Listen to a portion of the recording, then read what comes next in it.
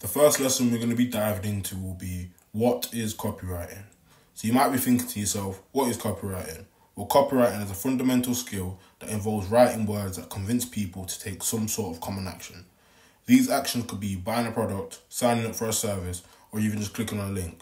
For example, it could be as simple as signing up for a discount, or even just as simple as a link that takes them to a page where they can find more information about what it is they desire.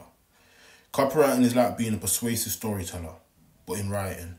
So, all the same way a poet writes to be smooth and gentle on the ear, as a copywriter, your goal is to write in a way that makes the reader want to take some sort of immediate action.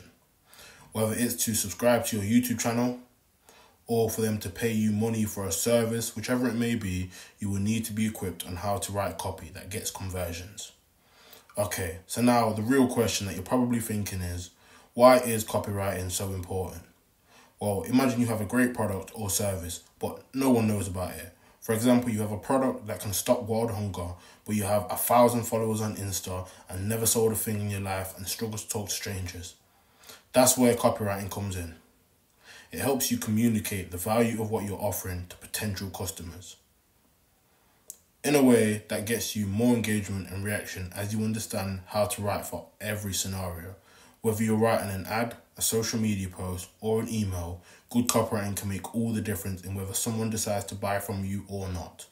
Throughout this series, we'll explore various aspects of copywriting, from understanding your audience to crafting compelling calls to action.